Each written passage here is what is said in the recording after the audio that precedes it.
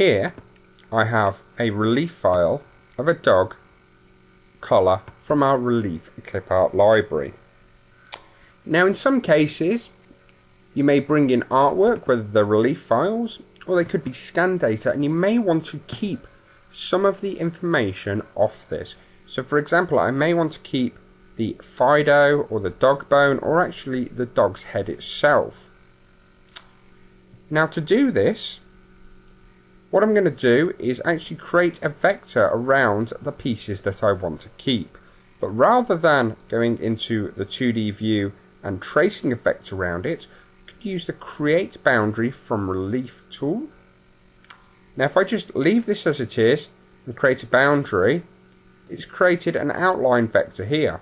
Very useful if you're bringing in some scan data for example or if you've created a relief yourself within the software and you want to add a boundary around the outside.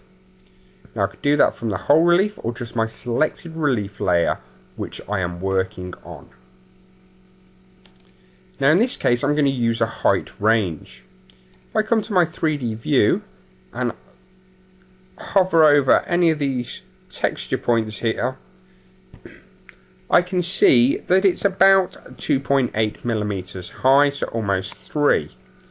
So coming over to the 2D view, I'm going to type in a minimum height of 3 millimeters. Now that's relatively close, but I've got all these nasty overhanging parts on, and I could do with refining the edges a little bit. So to do this, I'm just going to change my maximum height to 3.5 to see if I get any close with my artwork. Now that's perfect. I've got the dog's head outline, I've got the Fido, and luckily I've got the complete border, although two separate vectors, of my actual artwork itself. So with those vectors created, I'm going to look at splitting my design up into its individual components to use over and over again to create for example, a different design if required. Now I'm going to do this in the 3D view. And I'm going to turn on my vector so we can see what's happening. I'm going to select this vector here around the dog's head. I'm going to use my cookie cutter tool which I've just done there by selecting it and what's happened is it's split it onto separate layers. So if I turn off my dog's head and the main body, I have retained the parts that I require. So I'm best to, for tidiness, name this Beagle head. So I know that's my Beagle head. I'll do the same with the actual dog's name itself. So on the relief layer 1, cookie cutter, if I rename that to name, just so we can check on the right layer, we can see it there. So if I turn off my underlying layers, we can see we've got Fido and his head here created on a separate layer to reuse again and again. I'm just going to turn back on my relief layer. So I've got my complete artwork. We're going to look at how we can store this to use this for a different design if we so wanted to in the future. So I'm going to come to my relief clip art library and pin this out. And I'm going to come down to the one which I've called Rob's. I'm going to turn off my name and my relief layer and just leave my beagle head on and zoom in nicely.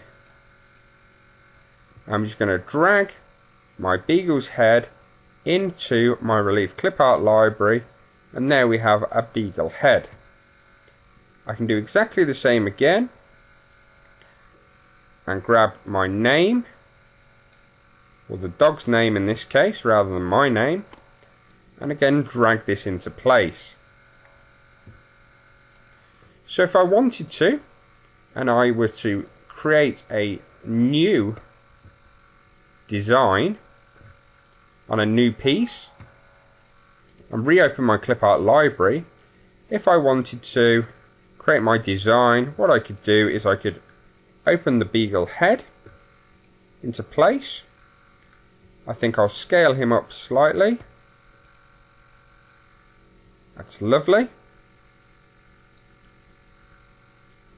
And with the beagle head still open, I'm going to select name. And I'm going to scale this up slightly as well. So none of them are pasted into place.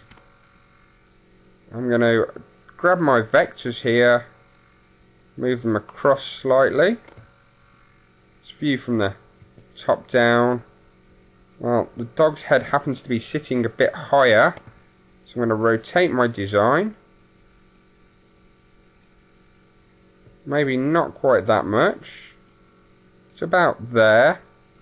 And I'm going to change the size of it to about 4 millimeters in height just so it's sitting under quite nicely and I like that and I'm going to paste that into place and close that down and then using my beagle scale him up a little bit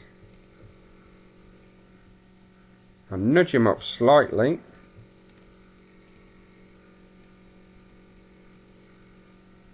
and make sure that my mode is on merge high and just paste him into place.